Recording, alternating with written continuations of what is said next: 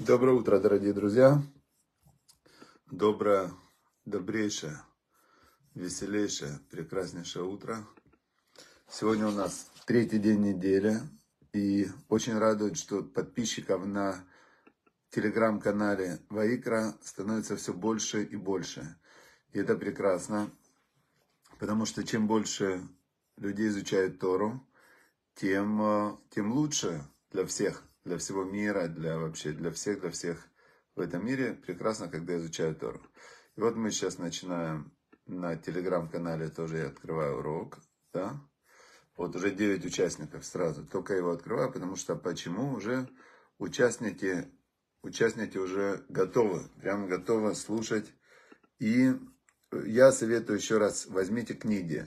Возьмите книги, потому что когда ты слушаешь урок с книгой, то это совершенно другая, другой, другой, другое восприятие.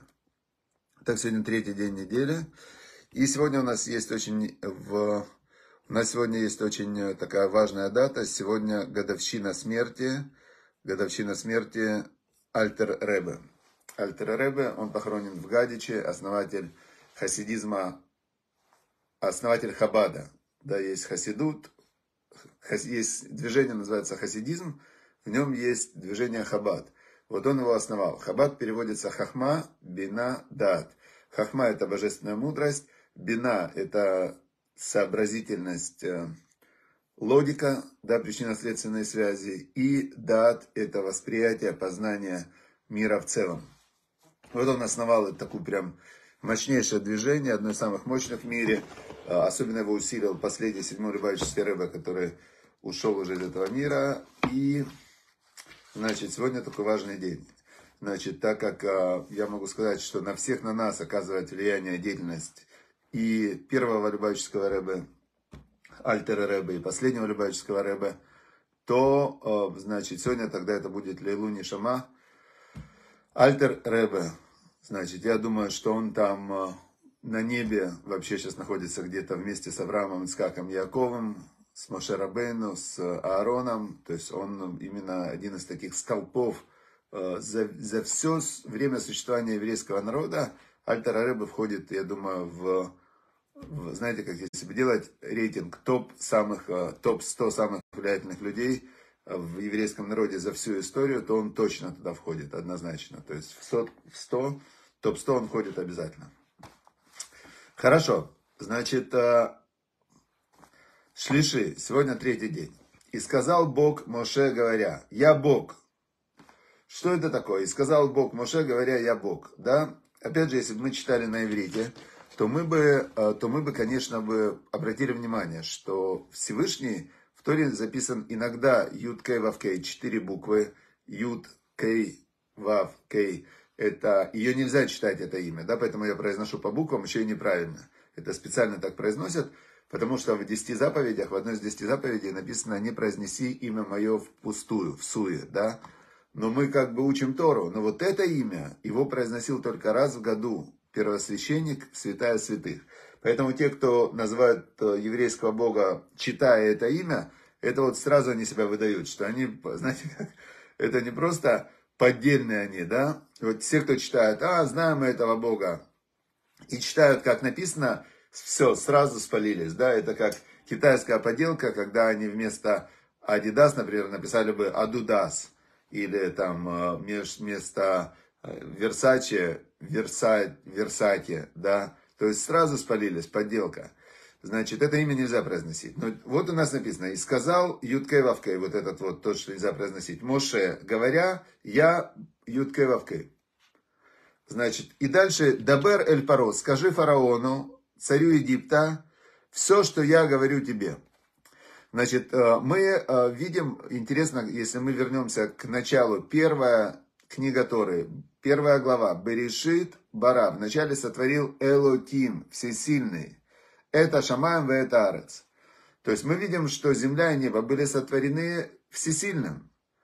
А когда появляется Юткей Вавкей, когда появляется человек, нет, когда появляется Шаббат, насколько помню, когда появляется Шаббат или когда появляется человек, вот я точно не помню. Значит, у Бога есть э, проявление в этом мире, то, что Он проявленный. И Элоким Всесильный – это проявление Бога в этом мире. А Юткевавкей – это тот творец, творец мироздания, который сотворил, и в котором нет никакого проявления, нет никакой структуры. Мы не можем его воспринять. Он энсофи, он бесконечный. Понятно, да? И вот этот бесконечный, он как раз и обращается к Моше и говорит, вот сейчас я, сейчас я вам покажу, что я создатель, я хозяин. И все, что вы видите, и все, что вы привыкли, сейчас я через 10 казней, я покажу, и мы дальше будем проходить, мы увидим, что каждая казнь показывала, что все это мироздание, оно не просто пластилиновое, оно просто каждую секунду возобновляется Всевышним, потому что он так хочет. И он в десяти казнях, он показал все аспекты абсолютно затронуты были, в которых мы могли бы сомневаться. А может это работает само по себе а может тут он не следит, а может здесь как-то этот э, просто процессик, да, этот, может быть, вот этот закон природы, он по-любому работает, без Всевышнего. Нет, ничего без Всевышнего не работает, и 10 казней это доказали. Теперь, значит, он говорит, вот сейчас ты пойди к фараону, и все ему передай, как я сказал. И сказал Муше перед Богом, так я же Араль Сватаем, я же э, косноязычный. Значит, как послушать меня фараон? И сказал Бог Моше, Рен, это тихо Элоим ли паро. Я тебя сделал всесильным фараоном. Я так сделал. Бог говорит, это уже э, процесс управляемый. Элоим это всесильный, то есть это законы. Он говорит, ты не переживай. Значит, я тебя направил, все, все пойдет по системе. Значит, я тебя сделал всесильным, как бы властителем над фараоном, а Аарон будет тебе пророком. Как это Аарон будет тебе пророком? И тут мы понимаем значение слова пророк. Пророк это тот, кто передает послание, передает послание. Теперь Маше Рабейну был Араль Сватаем, он не мог, он был косноязычный, он не мог фараону э, объяснить вообще, что от него надо. И он должен был сказать Аарону, а Аарон, он объяснял фараону. Атати дабер эль этколь ашер ацавха ацавеха ты говори все, что я тебе прикажу. Маша Рабейну был приемник, он, был, он воспринимал сигнал, и он потом передавал этот сигнал Аарону. Аарон, твой брат, будет твоим пророком. То есть он передаст сигнал дальше фараону в формате, в котором фараон поймет. А тати даберет коля шерет цавеха. Ты говори все, что я тебе прикажу. Аарон будет говорить фараону. Вышелахет дне Израиля мерцо. А фараон, он отправит сынов Израиля из своей страны. Вани кшеет лев паро. Вот мы сегодня остановимся на вот этом вот э, отрывке. И я э, экше эт лев паро. Сделаю каше. Каше сделаю твердым. Ужесточу переводят, да. Ужесточу, ожесточу, э, утяжи, ну, каше сделаю, знаете, это авуда каша, тяжелая работа, да. Сделаю тяжелым сердце фараона. В ирбейсе эт атотай. И умножу я свои э, знати, Вет Мофтай и свои знамения, знати знамения, вот э, мы сейчас разберемся тоже, что такое знати, что такое знамения. В земле египетской, Берец Мисраем. Велой Шмая Элахем Паро, а Паро не будет вас слушать. Вы нататиет яд Бамисраем. И дам я свою руку в Египте, то есть покажусь я здесь уже, все покажу, да, все, Египет приготовлен как такой амфитеатр, где Бог играет главную роль, и где он покажет вообще, кто такой Бог. Откуда мы знаем про Бога? Какой он, как он, э, как он управляет миром, как все работает. Именно через эти 10 казней, через эту историю исхода из Египта. И он говорит, все подготовлено, значит, сделаю я. И вауцетит цваот этому бне Исраэль мерец Мисраем. И вытащу я свои, свою армию, свое воинство, народ сыновей Израиля из земли египетской – бишватим, а, судами, большими судами. То есть все произойдет не просто так, а ну такая сейчас система нам откроется просто фантастическая. В этой недельной главе 7 казней из 10. Завтрашнего дня мы начнем их изучать. «Вейду Мицраем, Тиани Ашем, и узнаете Египет, что я Бог, Бенотати этьяди аль Мицраем». Вот тут у меня есть вопрос, зачем нужно было Богу, чтобы Египет узнал? А когда я раз свою руку простру над Египтом именно. В Оцесе Эдне Израиль Митохам. И вытащу я сынов Израиля оттуда. Значит, ответ у меня, кстати, есть. Я вам скажу, какой ответ. Я сейчас вспомнил ответ. почему именно в Египте Бог решил показаться. Ваяс Моше и Аарон, кашер цива Ашему там кенасу. И сделали Моше и Аарон, как приказал Бог им, так они сделали. У Моше бен Шмоним Шана, Моше было 80 лет, Варон бен Шалош Вашманим Шана, и Аарону было 83 года, Бидабрам эль Паро, когда они пришли говорить в Паро. Все, сегодняшний отрывок закончился, давайте его разберем.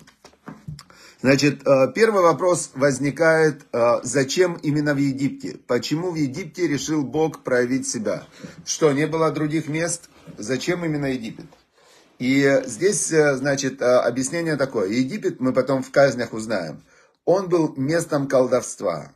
То есть Египет это было место, в котором магия была на таком уровне, что там, когда делали первые две казни, то в Талмуде написано, что египетские мади, они смеялись над этими казнями и говорили, у нас дети умеют такие казни делать, такие, значит, э, вещи умеют дети делать. Вы, значит, э, говорит, что вы удивили вообще, удивили. Значит, Египет был местом магии, фараон был главный маг. И именно там Всевышний проявился показать, что вся магия – это магия, а он Бог. Это совсем другое. То есть он пришел показаться, это как, э, если человек, например, он какой-то мастер большой, да, вот он мастер, он всю жизнь занимался карате. И куда он пойдет карате показывать? В, он придет, например, в какую-то деревню, говорит, посмотрите, какой я каратист. Ему скажут, какое карате, что за карате, мы вообще такого не знаем. Или он поедет в Шаолинь, и в Шаолине он покажет, какой он каратист, всех там победит. Там оценят его, его мастерство. И вот Всевышний в Египте как раз решил это все показать, чтобы понял весь мир на все поколения, что такое Бог, кто такой Бог, как это, как это Бог управляет миром. Теперь это первый ответ был, почему в Египте. Второй ответ, почему Бог ожесточил сердце фараона, и является, это, является ли это лишением свободы выбора. Был, был ли выбор у фараона или не было выбора? Значит, здесь очень много мы отсюда учим про свободу выбора вот из этой ситуации. Потому что, с одной стороны, э, написано, что у всех есть свобода выбора. То человек может, любой человек может вернуться ко Всевышнему, и нет силы, которая может противостоять перед раскаянием. То есть раскаяние, оно просто пробивает все-все-все, абсолютно все э, заслоны, и человек может вернуться ко Всевышнему. Теперь лишить э, этой возможности, написано, что можно. Всевышний лишает этой возможности в одном случае, когда человек осознанно грешил против Бога и ввел в грех других людей. То есть он, получается, взял и как э, сетевой маркетинг, он включил тысячу человек в грех. Такой был, например, Минаше. Он весь народ Израиля заставил служить идолам. Царь Минаше, он поставил идолов в Дании, там поставил, здесь поставил. Назначил новых священников вместо левитов. Он назначил каких-то людей, которых назвал священниками, чтобы они служили идолам. Он весь народ не пускал в Иерусалим, в храм, и он прям заставил, убил пророка Ишаяу. Он, ну, то есть жуткие вещи он творил. И потом, когда царство Израиль захватил Навуходнецар, угнал его, значит, э, не на Навуходоносор, Санхирив, по-моему, не помню, чем кто, какой-то из царей, э, и его угнал в Вавилон, и он сидит в тюрьме Минаша. И вот в этой в тюрьме он начинает раскаиваться. И он раскаивается, возвращается к Богу, и, значит, э, раскаяние.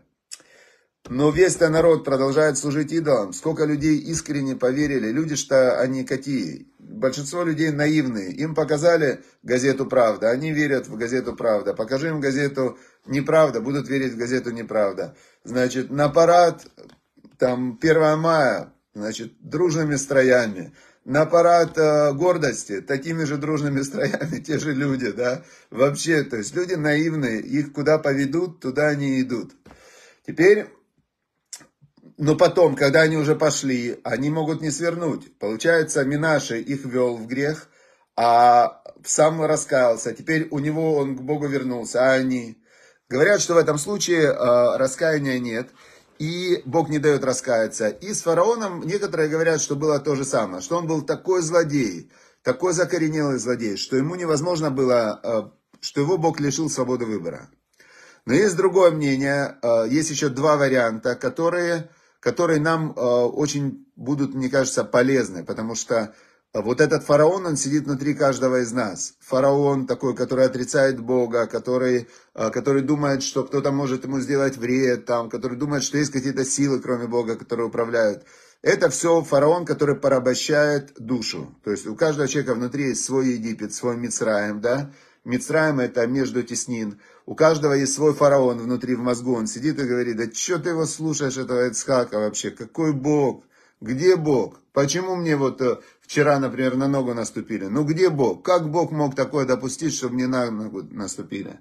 Это несправедливо. Значит, нету Бога, раз мне на ногу. Или там еще хуже, есть же страшные вещи в мире творятся.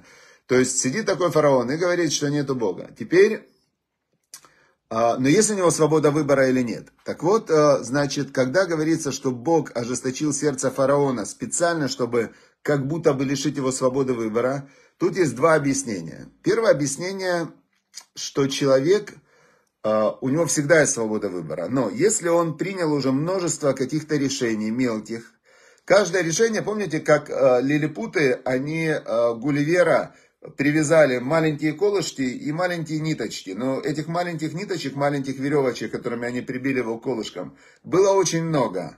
И он не мог встать. Точно так же психологически, в психологии, человек, который принял много разных, вот он, например, принял решение, что я, например, там по субботам хожу в баню, ну, к примеру, а ему говорят, а субботу надо соблюдать, нельзя в баню ходить.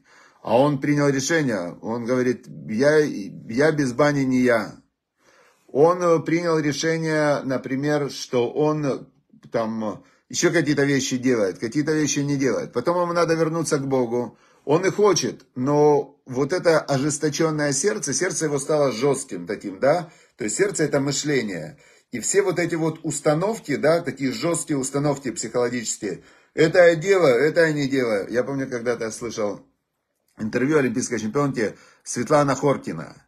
И она, эта Хоркина говорит, ее спрашивает э, корреспондент, говорит, а правда, что вы, даже выступаете, вы всегда с маникюром, даже делаете перед всеми соревнованиями? Это было лет 20 назад, я слышал интервью, да не 20, 25, наверное, или 30.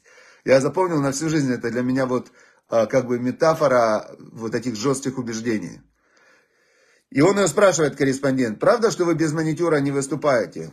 Она говорит, правда. Потому что, говорит, Хортина без маникюра не Хортина.